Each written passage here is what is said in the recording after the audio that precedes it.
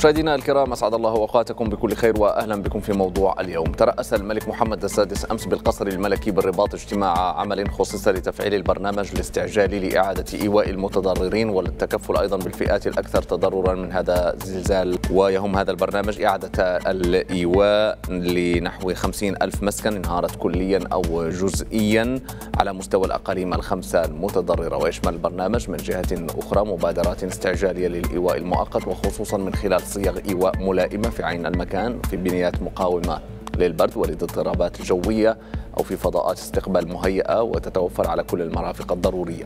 من جهة أخرى ستمنح الدولة مساعدة استعجالية بقيمة 30 ألف درهم للأسر المعنية. ويتمثل البرنامج من جهة أخرى في اتخاذ مبادرات فورية لإعادة الإعمار تتم بعد عمليات قبلية للخبرة وأشغال التهيئة وتثبيت الأراضي.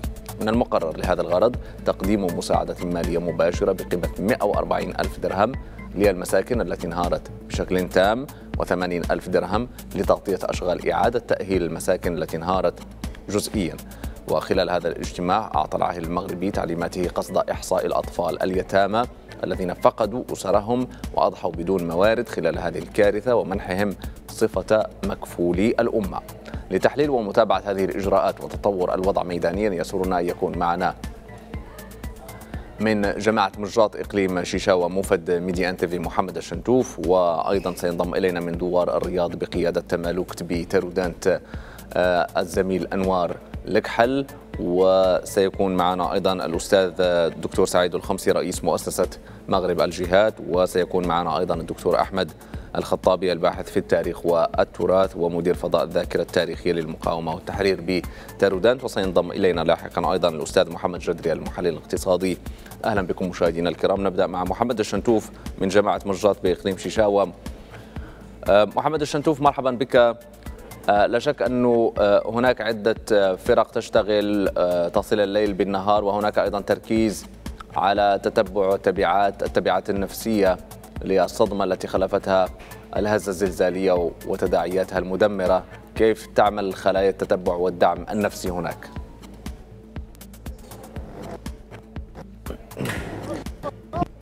تحية طيبة الكريم محمد بورويس تحية طيبة لمشاهدينا الكرام.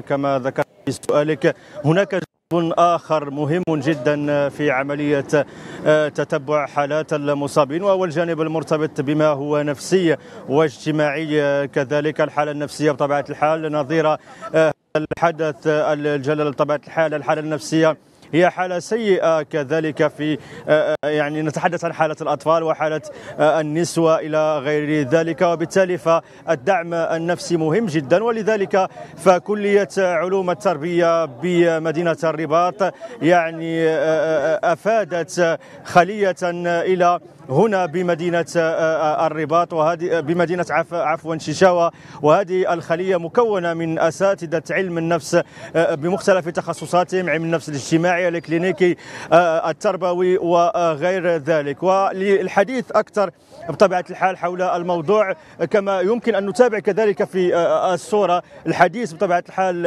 يكون هناك يعني حديث ما بين الناس والأساتذة.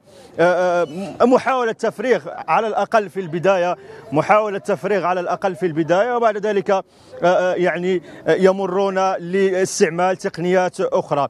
وللحديث أكثر زميلي محمد حول الموضوع يحضر معي حمزة شيمبو أستاذ علم النفس الكلينيكي ومنسق خلية الدعم النفسي بكلية علوم التربية بالرباط. أستاذ حمزة أهلا وسهلا بك في قناة Medi1 TV مرحبا بك سي محمد وفرصة سعيدة. أننا نتلقى في هذه المنطقة من أجل تقديم هذه الخدمات الإنسانية الموجهة لعموم المواطنين بهذه المنطقة. بداية قبل أن أتحدث لك عن برنامج العمل الذي سطرتموه في هذه المنطقة منطقة شيشاوه أخبرني قليلا عن عن الأجواء في المناطق الأخرى التي ذهبتم لها. نعم بالنسبة للمناطق الأخرى التي زرناها يعني منذ أربعة أيام زرنا مناطق أسني مناطق مخيمات أيضا إمليل وتقاديرت وقمنا بتقديم مجموعة من الخدمات الدعم النفسي موجهة للأطفال وحقيقة يعني كانت هناك آثار نفسية واضحة على الأطفال حيث أنهم غير متواجدين في المدارس أيضا بيوتهم قد هدمت وقد فقدوا بعض أهاليهم ولاحظنا بأن هناك آثار كبيرة على مستوى فقدان النطق لدى بعض الأطفال أو نعم. تبول لا إرادي أو الكوابيس وما إلى ذلك لذلك عملنا متواصل من أجل تقديم هذه الخدمات المتعددة التخصصات نعم هنا في منطقة الشيشاوة ما هو برنامج العمل؟ في منطقة الشيشاوة هو أننا توجهنا إلى إلى جماعة مجات ثم سنتوجه إلى أدسيل حيث سنقدم هناك ورشات للأطفال المتواجدين بالمخيمات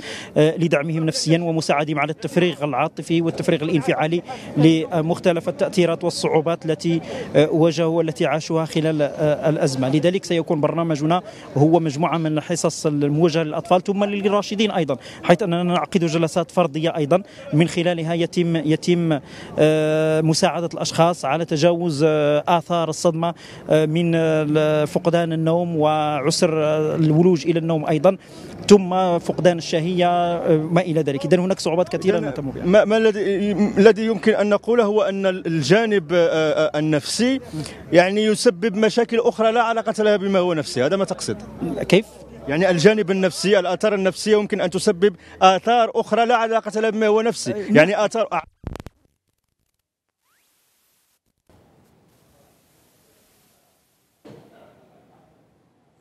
في الواقع فقدنا الصوت من المصدر. شكرا لك محمد الشنتوف من جامعة مرجات بإقليم شيشا ولا شك أنه سنعود إليك في سياق تغطيتنا الخاصة التي تقوم بها Medi1 TV لتداعيات الزلزال والتدابير المتخذة لمواجهته. أن نذهب مباشرة إلى إقليم تارودانت مع أنوار الكحل من دوار الرياض بقيادة تمالوكت. من تمالوكت أنوار الكحل كيف تتقدم عمليات الإغاثة لديك وما هي انشغالات الساكنة في هذه المرحلة؟ نعم برويس عملية الإغاثة تتقدم بشكل كبير ومتواصل وملحوظ هذا الدوار المسمى دوار الرياض بقيادة تملوك بإقليم تارودانت هو من أك من أكثر أو من أكبر الدواوير التي تضررت حيث انهار سقف خمسين منزلا بالكامل كما تعرضت بعض المباني الأخرى لشقوق وتهالك. جراء الضربة القوية للزلزال الذي عرفه الإقليم قرابة الأسبوع تقريبا. برويس كما تشاهد الآن يعني هناك هذا العمود الذي هو كذلك آيل للسقوط والذي خلف انقطاعا في الكهرباء. كذلك هناك انقطاع في الماء الصالح للشرب. تشاهد كذلك المسجد الذي انهار جزئيا أو صومعة المسجد التي انهارت انهارت بالكامل.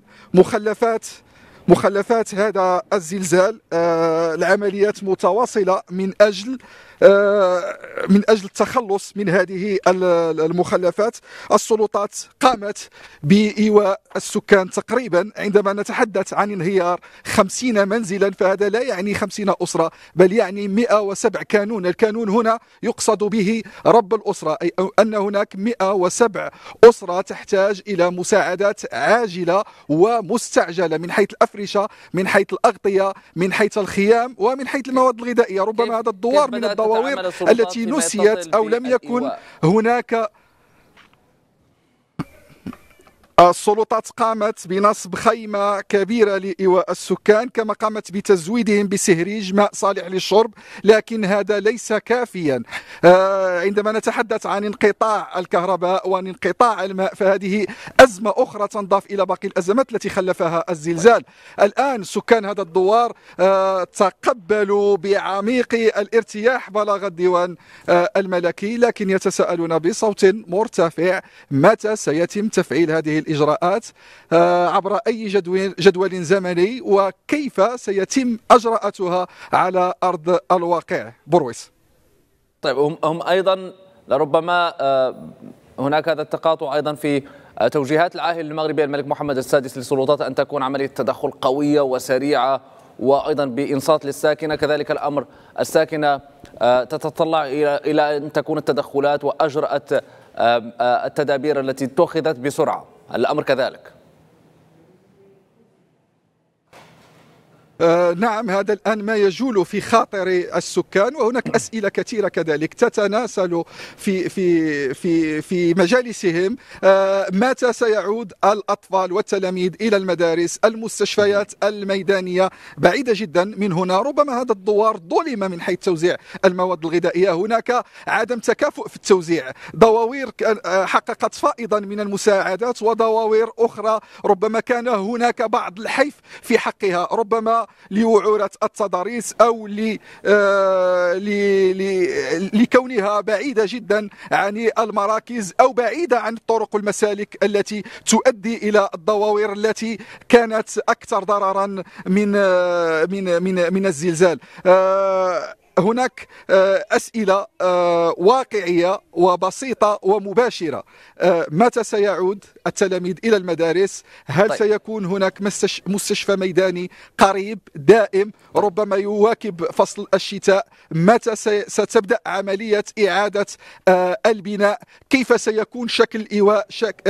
هل هو دائم أم مؤقت؟ ومتى ستصرف المساعدات المالية المباشرة لهذه السؤال؟ السكان طيب. ليباشروا أنشطة حياتهم اليومية من فلاحة وصناعة وأشغال آه، أخرى آه، تعرف توقفا بفعل الضربة القوية لهذا الزلزال شكرا لك أنوار لك حل من دوار الرياض بقيادة تمالوكت بترودان. شكرا لك على كل هذه التوضيحات وأيضا ما نقلته أيضا من انشغالات وأسئلة تراود السكان في هذه المرحلة التي يستبشرون فيها آه، خيرا بالتدابير التي وردت أيضا في بعد اجتماع العمل الذي خصص لتفعيل البرنامج الاستعجالي لإعادة إيواء المتضررين والتكفل أيضا بالفئات الأكثر تضررا من هذا الزلزال. نذهب إلى سعيد الخمسي مع آه، رئيس مؤسسة مغرب الجهات سعيد الخمسي شكرا لانضمامك إلينا.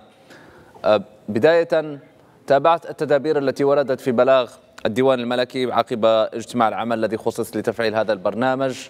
آه، وفي الواقع جاءت بعد أقل عمليا أقل من أسبوع على الهزة الزلزالية الرئيسية بسبع درجات. وبعد تقدم كبير جدا لأعمال الإغاثة والإنقاذ. ما هي النقاط القوية التي وردت في هذا في هذه التدابير برأيك؟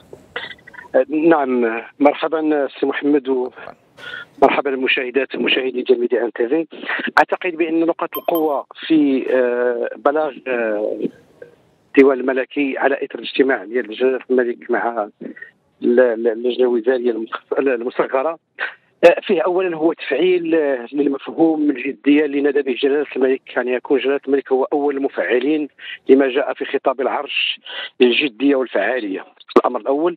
الأمر الثاني هو هو هو فيه نقط كثيرة جدا. يعني يمكن يتقرا من الزاويه الاقتصادية النفسية الثقافية لا لا لا لا يعني عدة زوايا. أعتقد بأن الأمر الأول أن سرعه ديال ديال ديال اتخاذ هذه الإجراءات العملية الإجرائية وحنا نرجعوا العملية للأسئلة اللي تدور في, في, في الذهن ديال ديال الساكنة المتضررة والرأي العام بصفة عامة اللي هو متى أعتقد أن أولى الأشياء إذا كان يعني حجم الألم حجم الضرر حجم الحزن العام اللي تعم المملكة. يعني ترى فيه واحد الانفراج كبير للناس اللي بعادين عن المنطقة. فما بالك بالناس اللي يعني اللي يعني في قلب النكبة. هؤلاء يعني واحد الإحساس عام بالانفراج لأن لما يسمع واحد على الأقل سنة واحد 2500 درهم في الشهر أن إعادة البناء ديال الدور المهدمة ب 140 ألف يعني الإجراءات اللي تم اتخاذها واحد الجانب النفسي والجانب النفسي في الأزمات هو المركز وهو المستهدف الأساس. لأن في كل الأزمات كما يعلم الخاص والعام إلى إلى بقات النفسية والمورال طالع. يعني يمكن تنتصر. طيب. إلى نهار الجانب النفسي نهار كل شيء. أعتقد أن الابعاد الأبعاد ديال ديال ديال ديال, ديال ما جاء في البلاغ الملكي فيها أبعاد تهم الساكنة فيها أبعاد تهم الاقتصاد الوطني وفيها أبعاد تهم إن صح التعبير سي محمد مفهوم الأمة المغربية بصفة عامة. لهذا يعني بالأمس كنت نقول بأن اذا كان مشروع مارشال في أوروبا بعد الحرب العالمية الثانية هو اللي كان الحافز الاقتصادي والنفسي والمادي لإعادة بناء أوروبا فأعتقد أن مشروع محمد السادس في المناطق المنكوبة فيه نفس الأركان ونفس الأبعاد فيه البعد النفسي فيه بعد الإشارات اللي طرات من خلال يعني من الأمس اليوم المؤسسات والتبرع جلالة الملك وبعض المؤسسات اللي انطلقت في التبرع كل هذه الإشارات يعني في الماكرو فتعطينا أننا خرجنا من المرحلة الأولى للأزمة إلى المرحلة الثانية اللي هي المرحلة الأولى هي الإنقاذ الدفن يعني إنقاذ ما يمكن هذا الخروج كان سريعا بفعل أيضا لنقل التعبئة التي قادها العاهل المغربي الملك محمد السادس منذ اللحظات الأولى لهذه الواقعة الزلزالية المدمرة لأنه في في غضون أسبوع وفي أكيد. استحضار أيضا تضاريس الوعرة وانقطاع الطرقات والانهيارات الصخرية المتتالية ولا تزال في الواقع مستمرة في بعض المناطق بحكم الهزات الارتدادية وأشياء من هذا القبيل، الجهد الذي بذلته أيضا القوات المسلحة الملكية بأوامر العاهل المغربي من أجل الانتشار اللوجستي سريعا. كيف تقيم كل ذلك في ظرف أسبوع؟ الذي حدث في محمد يعني بدون يعني ماشي لغه ديال ديال كما تيقولوا لغة الشعراء هو معجزة مغربية بحق لأن الهبة الملكية والشعبية التي اللي حدثت تعكس أهم عام يعني كان في محاربة أهم خطر كان يواجهنا هو عامل الزمن. لأن في أسبوع يمكن يموتوا لك ناس أخرين غير بالعطش يمكن يموتوا لك ناس بالجوع يمكن يموتوا لك يمكن بالتالي ما حدث في المغرب. يعني هو إحنا الآن مازال تحت الصدمه ولكن لما غتكون مسافة زمنية الحدث أنا مأكد طيب. بأن بأن غيحيل في هذه اللحظه لأن عامل الزمن كان أساسي التدخل والعمل والعمل اللي قام به وسائل الإعلام كان أساسي في توجيه العمليات ديال الإغاثة العمليات ديال توزيع المساعدات العمليات ديال توجيه المواطنات والمواطنين في يعني في بعد هذا النوع المساعدات ماشي هذا النوع. كل هذه العمليات ترى واحد ترى واحد غرفة عمليات ان صح التعبير فيها شعب كامل. كنا أمام غرفة عمليات يعني آه، فيها فيها فيها فيها, فيها فيها المغاربة كاملين. هذا الأمر الأول. الأمر الثاني هو أن الإجراءات اللي تم اتخاذها هي إجراءات كمية لأن الأرقام يعني ما يمكن يمكن كان البلاغ يتكلم على أن سيتم إعادة الإيواء وسيتم وسيتم. هي إجراءات عملية. التنزيل فيها خص يكون فيه أربعة ديال الأشياء. بعد شرتوا لها بعد بعدها شرتوا لها سي محمد في التقديم. وكاينه في البلاغ. السرعة الدقة هذا الذي أردت أن أسألك عنه دكتور سعيد الخمسي تحديدا. يبدو ولعلك لربما تزكي ما أقول أو على الأقل تتفاعل معه. يبدو أن العاهل المغربي الملك محمد السادس من خلال أيضا التوجيهات التي وردت في هذا البلاغ يحافظ على نفس الزخم من التسريع لجهود مواجهة الكارثة الطبيعية حيث أنه توجيهاته مرة أخرى كانت تؤكد على الاستجابة أن تكون وهذه شروط شروط العاهل المغربي في, في الاستجابة. الاستجابة أن تكون قوية وأن تكون سريعة وأن تكون استباقية مع احترام كرامة الساكنة وعادات الساكنة وأعراف الساكنة وتراث الساكنة. ما الذي يعنيه ذلك؟ في منظور وتيرة الاشتغال في المرحلة المقبلة. سي محمد بدا بالاخرى اللي ساليتي بها اللي هي احترام الكرامة. الآن الآن نحن نتحدث على منطقة لها خصوصيات تاريخية وثقافية كبيرة. لا لا يعني من بين ما سقط ما سقط مسجد تنمل العمر ديالو أكثر من 800 سنة مهد الدولة الموحدية. من صحيح. بين المنطقة تضم ثالث أكبر سور في العالم اللي هو سور تالودان تعتقد ما تسلطش عليه الضوء. المنطقة تضم آه، تراث لا مادي كبير جدا. وسائل التواصل الاجتماعيه بحفظه القرآن. يعني أكبر أكبر مركز لتحفيظ القرآن في العالم يوجد في تلك المناطق. كل هذه المعطيات وغيرها كثير يعني جات قال سيدنا الكرامة والحفاظ على البعد بمعنى ان ما غاديينش نديروا الصنادق ديال وهذه كانت إشارة دقيقة من جلاله الملك راه هذه كانت إشارة دقيقة على أن هذه المناطق غترجع كي كانت بل أفضل ولكن بنفس النفس والمعطى التاريخي والثقافي والهوياتي لسكان المنطقة. حتى باش ما نخدعوش غدا لمسخ آه، تاريخي أو لمسخ جغرافي أو لمسخ ديموغرافي أو لمسخ عمراني. وهذه ركز عليها جلاله الملك اذا طيب. ردينا البال في البلاغ مرتين ركزات الأمر الثاني هو أن هذا هذا البرنامج ما فيش خمس سنوات. ست سنوات ما غنمشيوش. بمعنى فيه الاستعجال وهو البلاغ بحد ذاته أشار لمرحلتين. مرحلة إيواء المؤقت واستر على في مساكن مؤقتة تحفظ الكرامة وفيها شروط الحياة الكريمة. والمرحلة الثانية هي إعادة الإعمار ولعل الانتباه. يعني يطرح سؤال طبيعي علاش علاش القرار اللي اختاره جلالة الملك فيه أن تمكين الناس من مساعدات مالية 140 ألف درهم 80 ألف درهم لإعادة إعمار دورهم؟ وماشي أنهم غيخرجوا يمشيوا وغنبنيو لهم ونجيبوهم. وهذه مفارقة قافية كبيرة جدا تنبه جلالة الملك. اولا باش يكونوا الناس شاركوا في إعادة اعمار منطقتهم بيديهم. ثانيا لإعادة التراث اللامادي اللي مخزون في ذاكره الناس في ثقافتهم في تقاليدهم في عاداتهم في العمران. لإعادة البناء الجماعي. إذا كانت هذه الملحمة ديال الهبة الجماعية كانوا فيها المغاربة كاملين فحتى البناء سيكون جماعيا وما. غيكونش فيه طرف غائب اللي هو. بالتالي غيكون السكان المنطقة هم طرف أساسي في إعادة الإعمار. وكأن المساعدة ستقتصر على الشق المادي ولكن التراث الثقافة هذا. الأمر الثالث هو هو, هو إعادة الحياة العامة. نتكلم جلاله الملك في البلاغ على المؤسسات العمومية على الحياة العامة. بمعنى أن الناس الآن كنا تنسبقوا باش نعطيو لهم الدواء والفراش والماكلة بمعنى شروط الوجود. الآن الناس محتاجين يرجعوا لحياتهم الاقتصادية والاجتماعية لحياتهم الثقافية الحياة الدراسية وكل هذه الأشياء يعني مدرجة لما قال جلالة الملك الكرامة. إذا نجمع فيها كل هذه الأشياء. شكرا. شكرا آه نعم سمحني. شكرا دكتور سعيد الخمسي. أرجو أن تتفضل بالبقاء معنا. نشرك أيضا معنا ضيفنا الأستاذ أحمد الخطابي الباحث في التاريخ والتراث مدير فضاء الذاكرة التاريخية للمقاومة والتحرير بتارودانت آه، أستاذ أحمد خطابي أرحب بك. كما ذكرنا ذلك أن العاهل المغربي أيضا وجه باحترام كرامة الساكنة وعاداتهم وأعرافهم وتراثهم ووجه أيضا بأن تكون عملية الإعمار متطابقة أيضا مع متطلبات الخصوصية العمرانية آه، لهذه المناطق ماذا يقتضي ذلك؟ آه، شكرا أستاذي الكريم شكرا لقناة ميديا إن تي في على هذه الاستضافة وعلى هذه التغطية الاحترافية المتواصلة منذ ليلة الهزة الأرضية العنيفة التي شهدتها بلادنا. آه، اولا نجدد تعازينا لضحايا عائلات المفقودين المتوفين يعني ونتمنى الشفاء العاجل للجرحى والمصابين.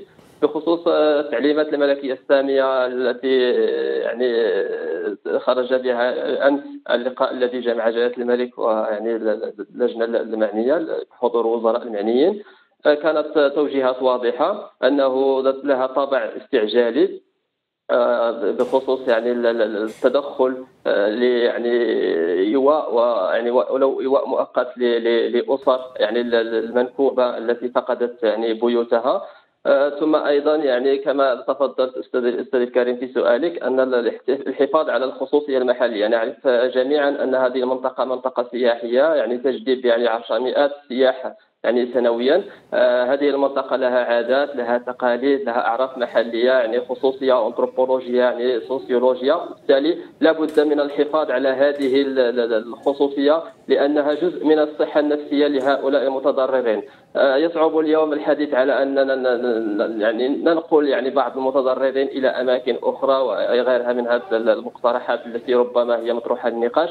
لكن ربما الساكنة المحلية أو أغلبها ربما يعني مرتبط بشكل وثيق مع هذه الأرض مع أنشطته الفلاحية ومع يعني أرض باعتبارها أرض الأجداد وبالتالي يصعب إقناع يعني الكثير من الناس إلى أن يعني يتركوا هذا هذه الأماكن يعني رغم يعني وجودها في قمم الجبال وفي مناطق وعره ويصعب الوصول إليها إلى أنه لابد من أخذ رأيهم يعني واستشارتهم أو وضع خيارات مختلفة أمامهم ليختاروا هم ما يريدون. جلالة الملك كان واضحا يعني الدعم المالي كان دعم يعني صراحة يعني أثلج صدورنا جميعا كمغاربه وأكيد أن المتضررين يعني استقبلوه بصدر رحب. يعني أن تكون هناك يعني 30 ألف درهم كمنحة يعني أولية على مدى سنة يعني 2500 درهم لكل شهر.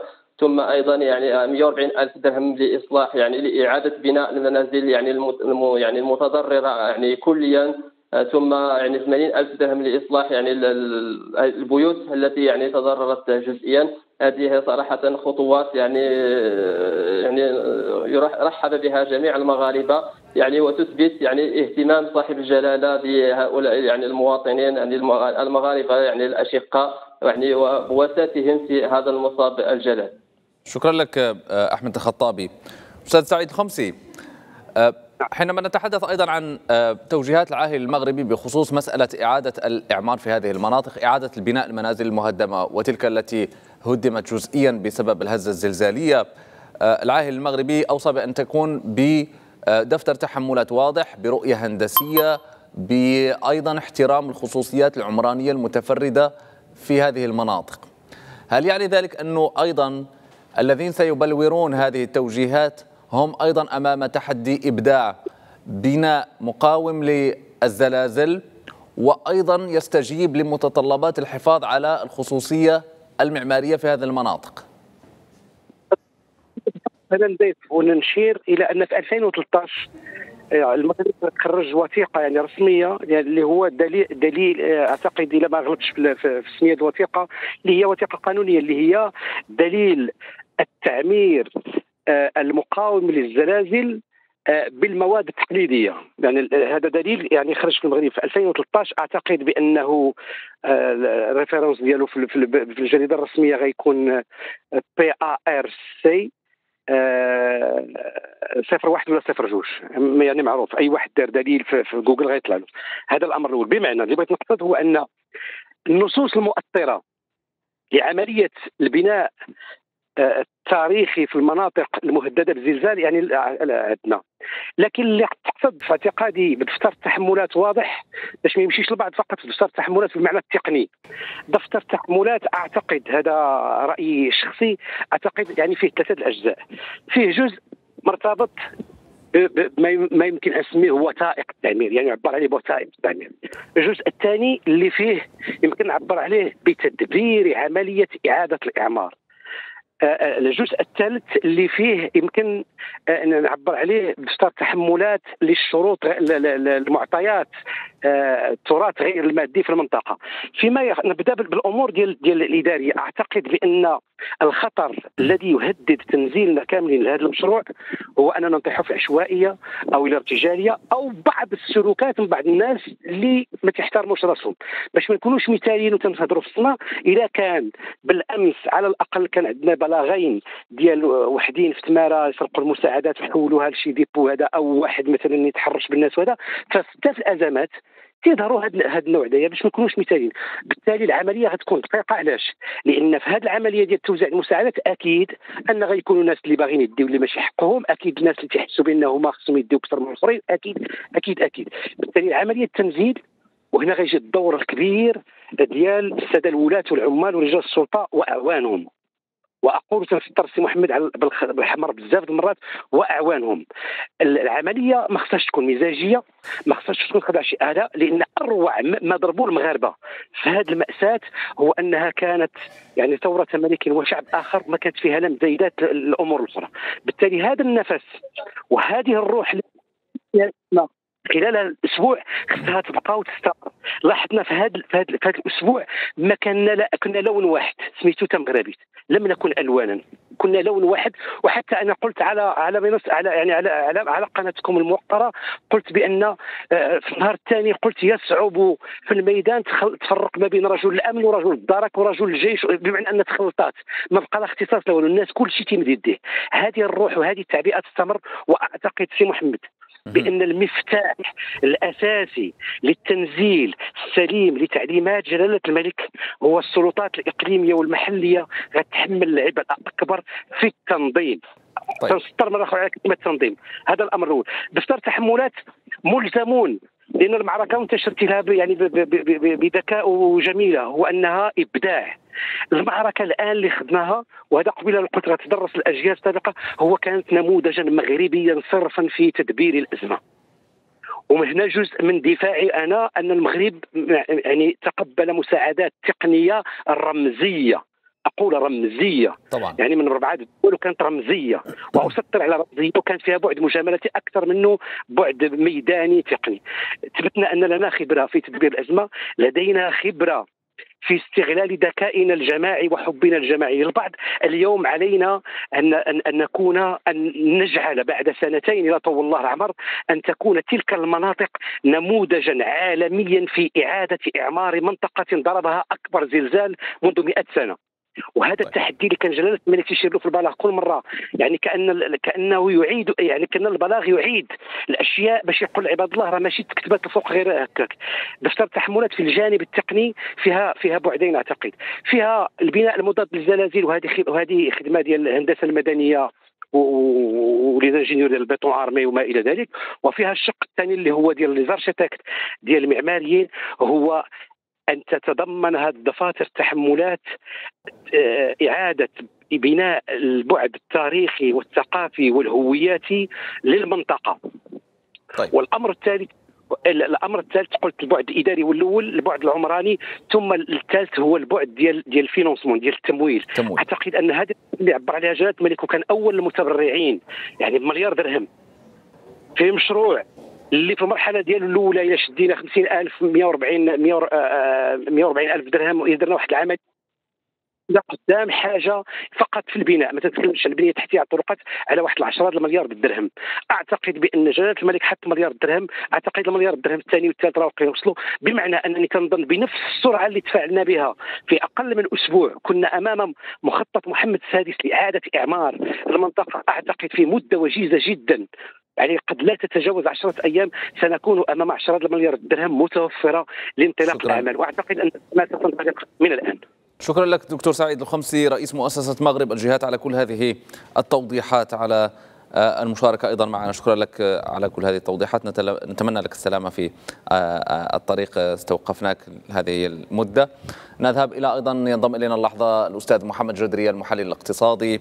أستاذ محمد جدري تابعت أنه جلسة العمل التي ترأسها العاهل المغربي الملك محمد السادس أتت في الواقع بإجراءات عملية وأيضا بالتزامات مالية للدولة تجاه الفئات المتضررة هل لك الآن أن تقدر تقريبيا كلفة هذه النظرة لإعادة وهذا التصور لإعادة الإعمار كم قد يكلف؟ بطبيعة الحال اليوم كيف ما كنشوفوا بأن عائل البلاد يعني يقف يعني شخصيا ويشرف شخصيا على كل ما يتعلق بعملية إعادة الإعمار منذ الجلسة الأولى يوم السبت الماضي بحيث أنه كلف اللجنة البين وزارية من أجل تقديم عرض من أجل إعادة الإعمار في المناطق المنكوبة في الأقاليم الخمس المعروفة. اليوم كنشوفوا بأن ليلة الأمس كان البلاغ الدول الملكي واضحا في ثلاث الأمور اللي هي أساسية ويجب أن نؤكد عليها مرة أخرى. الأمر الأول هو أن يعني مؤقتا الدول المغربية سوف تقدم منحة لهؤلاء الضحايا اللي مقدرون بتقريبا واحد 50 ألف أسرة يعني واحد 2500 درهم شهريا مدة سنة لماذا؟ لأن الكل يعرف بأن هذه المساعدات ديال المجتمع المدني وهذه المساعدات يعني بعد أسبوع أو أسبوعين أو ثلاث أسابيع الكل سيعود إلى عمله الكل سيعود إلى مدينته وبالتالي يجب أن الناس نحفظوا لهم الكرامة ديالهم ما يبقاوش يتسناو في مساعدته. وبالتالي هاد 2500 درهم شهريا يعني كندويو على تقريبا واحد التكلفه مالية ما بين مليار ونص وجوج المليار ديال الدرهم. هذا في كل ما يتعلق بالمساعدات المباشرة. كل ما يتعلق يعني بإعادة الإعمار هناك يعني صنفين هناك مجموعة من الأشخاص اللي فقدوا الدور ديالهم يعني كليا وبالتالي سيتم إعادة الإعمار ديالها من جديد. هذا الأمر غيكون واحد 140 ألف درهم لكل أسرة. وكذلك بالنسبة للناس اللي تعرضوا جزئيا نتكلم عن واحد 80 ألف درهم. هذه الأمور أعتقد بأنها سوف تكلف واحد التكلفه ما بين واحد 6 إلى واحد 9 مليار ديال الدرهم. وبالتالي فقط يعني في هذه المساعدات المباشرة للضحايا كنتكلموا على واحد 10 أو 15 مليار ديال الدرهم. بالإضافة أنه بالمقابل عندنا واحد 500 يعني مدرسة اللي تم التدمير ديالها. عندنا شبكة النقل والمسالك الطرقية. نتكلموا عن شبكة الهاتف النقال نتكلموا عن شبكة ديال التطهير الصحي نتكلموا عن الماء والكهرباء. أعتقد بأن تكلفة أخرى يعني ما بين واحد 10 أو 15 مليار درهم اضافيه وبالتالي يعني ممكن ندويو على واحد تكلفة إجمالية لواحد ما بين 20 و 30 مليار درهم. اليوم يعني هناك تضافر للجهود هناك مجهود جماعي من طرف الأفراد والمؤسسات والمجتمع المدني. كنشوفوا بأن اليوم عندنا الحكومة يعني خصصت واحد شهر من اوجه الوزراء عندنا واحد المجموعة المؤسسات الدستورية ساهمت عندنا يعني الموظفين في القطاع العام سيساهمون بأجرة يوم لمدة ثلاث أشهر بالإضافة إلى مجموعة من المقاولات المواطنة المغربية اللي غتساهم دون أن ننسى المساهمات التلقائية للمواطنات والمواطنين في هذا الحساب الخاص ديال البنك المغرب دون كذلك أن ننسى مساهمة مغاربة العالم بالإضافة إلى المساعدات اللي ممكن تجي واحد مجموعة من الدول الصديقة والشقيقه وبالتالي اليوم كنظن بأن يعني كل ما يتعلق بالموارد المالية أعتقد بأن المغرب يعني رفع الرهان ابان الجائحه وجمعنا واحد 14 مليار درهم. اليوم كذلك باستطاعتنا أن نجمع نفس المبلغ أو أقل بقليل وبالتالي يعني كنظن بان هناك من الموارد المالية ما يكفي من أجل إعادة إعمار هؤلاء يعني المساكين. في أقرب الآجال كنظن بأن واحد سنة أو سنتين على أبعد تقدير يمكن أن تعود امور الانصابيه وترجع الحياة الاقتصادية والاجتماعية في هذا الأمر. بالإضافة إلى نقطه ثالثة واللي هي أساسية وهي وكذلك مكلفة ماديا هي اعتبار الأيتام ديال الضحايا الزلزال بمكفولي الأمة. كنقصدوا بمكفولي الأمة غنوفروا لهم يعني السكن غنوفروا لهم التعليم المجاني والتطبيب المجاني حتى بلوغ سن الرشد. بالإضافة أن هؤلاء الناس هؤلاء الايتام سيكون لهم حق الأسبقية والأفضلية في وظيفة العمومية. كل هذه الأمور مجتمعة لها تكلفة مالية مهمة ولكن كنظن بأن اليوم يعني المغاربة قاطبة أفرادا وجماعات بإمكانهم رفع هذا الرهان وتوفير كل الإمكانيات المالية دون أن ننسى بأن نحن اليوم يعني على اهبه الاستعداد لمشروع قانون المالية للسنة المقبلة وكنظن بأن مجموعة من القطاعات الوزارية سوف تأخذ بعين الاعتبار هذا المعتدل الكارثه الطبيعيه وسوف يتم إعادة النظر في مجموعة من النفقات والمصاريف لكي تأخذ بعين الاعتبار يعني نفقات إضافية كل ما يتعلق بالتجهيز الناقل الكهرباء الطرق الصحة التعليم. طيب. كنظن بأن هذه جميع القطاعات تأخذ بعين الاعتبار الأمور باش أننا تكون عندنا واحد الميزانيات خلال السنتين القادمتين من أجل إعادة إعمار الأقاليم الخمس المنكوبة.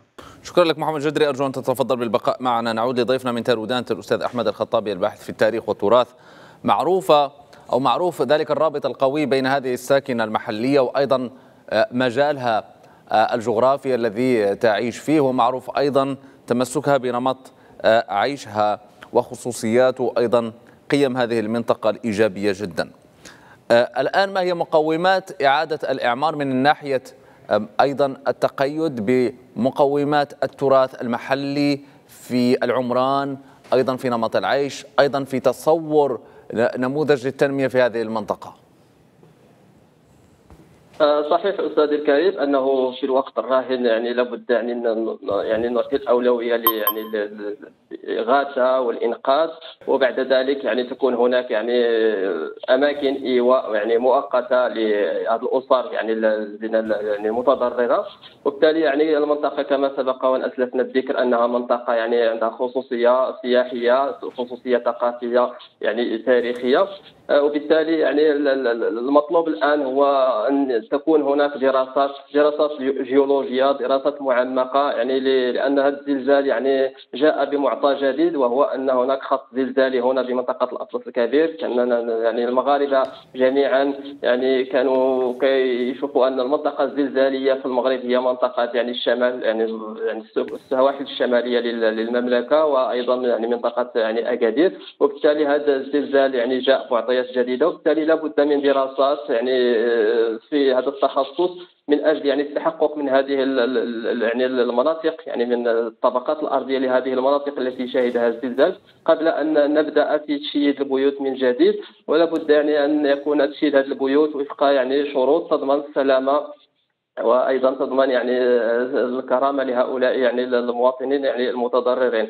مع الاحتفاظ بالطابع المحلي الطابع التقليدي يعني من حيث البناء من حيث الهندسة المعمارية من حيث يعني الجوانب. لكن الأساس هو أن تكون بنايات يعني يعني بأساس يعني يعني قوي تستطيع أن تصمد يعني أمام هزات محتملة أو عوامل يعني طبيعية أخرى.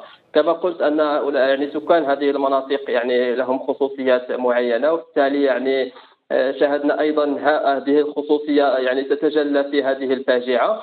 شاهدنا بعض مجموعة يعني مجموع يعني القرى التي يعني استهدفها الزلزال الآن يتم يعني تنظيم وجبات بشكل جماعي. أن النسوة يقمن بتحضير يعني وجبات سواء يعني الفطور أو الغداء أو العشاء يتم تحضيرها بشكل جماعي تضامني ويتم تقديمها يعني للسكان. يعني أننا يعني نشاهد يعني شكل من أشكال التضامن التي صراحة ألفناها في هذه يعني المناطق. أن الناس هنا يتعاملون مع بعضهم البعض كأسرة واحدة كعائلة واحدة في في الحفلات في الأعراس في الأفراح في الأحزان. وبالتالي يصعب أننا يعني أن نغير لهم نمط حياتهم بين عشية وضحاها. بالتالي يعني هذه العوامل كلها وهذه الخصوصيات يعني الأنثروبولوجيا والسوسيولوجيا يعني تتطلب منا أن يعني البحث عن حلول يعني جد يعني حلول يعني جذرية يعني تضمن هذا التلاحم بين هذه الساكنة يعني والتضامن وأيضا يعني نضمن لهم يعني شروط يعني السلامة الصحية في خصوص يعني البنايات أو المنازل التي سيتم تشييدها يعني مستقبلا.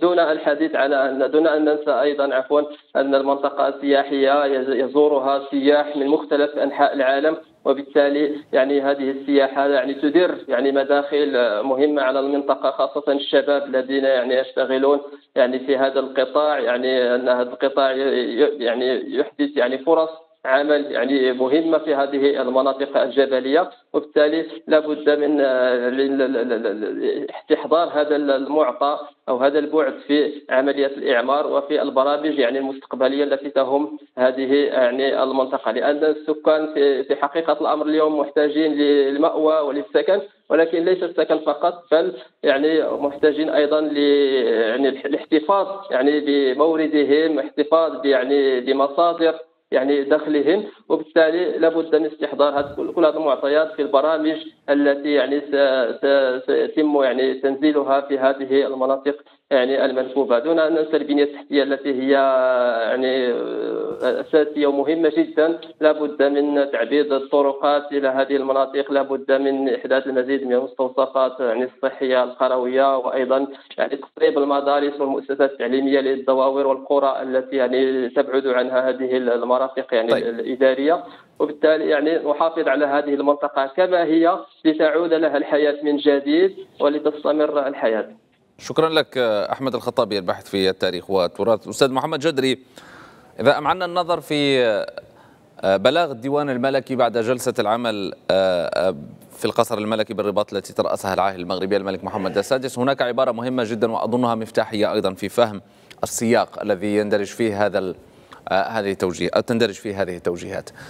تهم أنه التدابير تهم النسخة الأولى من برنامج إعادة الإيواء التي تم تقديمها بين يدي العاهل المغربي والتي تم إعدادها من قبل اللجنة آه، الوزارية التي تم تشكيلها بتعليمات ملكية. تهم نحو خمسين ألف مسكن انهارت كليا أو جزئيا. عبارة النسخة الأولى من برنامج إعادة الإيواء هذا تعني أنه منظور العاهل المغربي للنهوض بهذه المنطقة وأيضا إعادة إعمارها لربما ستليه أيضا مراحل أخرى في التنمية وأيضا التعاطي مع الساكنة وأيضا إشكالياتها وتداعيات الزلزال أيضا. بطبيعة الحال اليوم يعني المضامين ديال البلاغ الدول الملكي تحمل يعني واحد مجموعة من العبارات يجب أخذها بعين الاعتبار. أعتقد بأن هذه النسخة الأولى يعني من البرنامج الاستعجالي يجب أخذها من معطيين اثنين. المعطى الأول هو أن هذه الإحصائيات تبقى إحصائيات مؤقتة. نحن ما زلنا يعني باق مع يعني عايشين مع الزلزال وبالتالي من المتوقع أن تنهار يعني منازل أخرى يعني خلال الأيام المقبلة أن باقي هناك هزه ارتداديه وكذلك واحد مجموعة من الدواوير ممكن أن نكون ما وصلناش ليها أو يعني ما مازال ما عندناش واحد التقييم اللي هو أساسي. وبالتالي ملي كنقولوا النسخة الأولى من خمسين ألف مسكن فهذه تبقى حصيلة يعني مؤقتة. يعني يمكن أنها ترتفع خلال الأيام القليلة المقبلة. والأمر الثاني هو أن هذه الصيغة الأولى هي هذا عرض استعجالي من أجل يعني الإجابة على متطلبات مجموعة من الأسئلة بالنسبة للضحايا. اليوم الضحايا همهم الأولي هو توفير سكن مؤقت هو توفير يعني المواد الغذائية وكذلك كل ما يتعلق بالملابس. هذه الأمور تكفلت بها الدولة المغربية وسوف تتكفل بها كذلك عن طريق هذه المنحة المباشرة وكذلك إجابة في كل ما يتعلق بإعادة يعني البناء. دون أن ننسى بأن هذه المنطقة يمكن أن تكون هناك نسخة ثانية من هذا المشروع من أجل يعني إعطائها واحد طابع يعني للتنمية لكل ما يتعلق بالسياحة الصناعة التقليدية التعاونيات النسائية لخلق واحد مجموعة من فرص الشغل بالنسبة لأبناء المنطقة وهي يعني رب ضرة نافعة يمكن لهذا الزلزال أن يكون يعني يعني واحد الأمور اللي هي إيجابية بالنسبة للسكان وتخلق لهم واحد مجموعة من فرص الشغل. كذلك أنهم يعني خلال السنوات القليلة المقبلة تكون واحد ال... واحد الوجهة السياحية لمجموعه من الناس لأن كنعرفوا بأن هذه الأمور يمكن أن تقع. وبالتالي اليوم يجب أن نأخذ بعين الاعتبار بلاغ الدول الملكي في شقه الأول كل ما يتعلق بالنسخة الأولى في منظورين اثنين. المنظور الأول هو أن هذه الاحصائيات تبقى احصائيات هي مؤقتة وهذا العرض الحكومي يبقى عرضا حكوميا استعجاليا يمكن تحيينه وتجويده خلال الأشهر القادمة مع كل ما تتطلب لأن بلاغ الدول الملكي تكلم عن أمرين أساسيين تكلم عن الإنصات وعن الإنصاف. وبالتالي فإن هؤلاء الضحايا يجب الاستماع إليهم ويجب أن يكون إنصاف بين مختلف الأقاليم الخمس المتضرره وبالتالي يعني كل الدواوير يجب أن تستفيد من الدعم ومن إعادة الإعمار بنفس الطريقة دون أن تكون هناك تفاوتات مجالية ما بين الحوز والشيشاوة وورزازات ويعني كذلك يعني تلودنت بالإضافة إلى كل المناطق المتضررة. أعتقد بأن هناك أمور يعني يجب أخذها باعتبار وهذا يبين بأن الدولة المغربية منذ الساعات الأولى بعد الزلزال قامت بتسخير كل الإمكانيات من قوات مسلحه ملكية من أمن وطنيه ودرك ملكيه وقوات مساعدة. وكذلك يعني الوقاية المدنية دون أن ننسى المجهود الكبير الذي قام به المجتمع المدني من أفراد وجماعات لأنه خفف نوعا ما من الضغط وساعد في يعني إيصال مجموعة من المساعدات لهؤلاء الضحايا. دون أن ننسى بأن اليوم الدولة المغربية سوف تأخذ الأمور يعني يعني آه، بزمامها مره أخرى لكي تقوم يعني بتنزيل هذا البرنامج الاستعجالي خلال الأشهر القليله المقبلة. أعتقد بأن سنة 2024 وسنة 2025 ستكون مفصلية بالنسبة لضحايا زلزال الحوز وسوف تعود المنطقة إلى حياتها السوسيو اقتصاديه خلال القادم من الأشهر بإذن الله تعالى. محمد جدري المحلل الاقتصادي من الرباط شكرا جزيلا لك على كل هذه التوضيحات. نشكر أيضا ضيوفنا الأستاذ أحمد الخطابي الباحث في التاريخ والتراث. قبل ذلك أيضا نشكر أيضا الأستاذ سعيد الخمسي رئيس مؤسسة مغرب الجهات وأيضا نشكر شبكة موفدينا إلى إقليم تارودانت وشيشاوه ومراكش. شكرا جزيلا لكم مشاهدينا الكرام على المتابعة. بإمكانكم العودة إلى هذه الحلقة. والاطلاع على المزيد من الأخبار على موقعنا الإلكتروني Medi1 dot com شكرا لمتابعتكم وإلى اللقاء.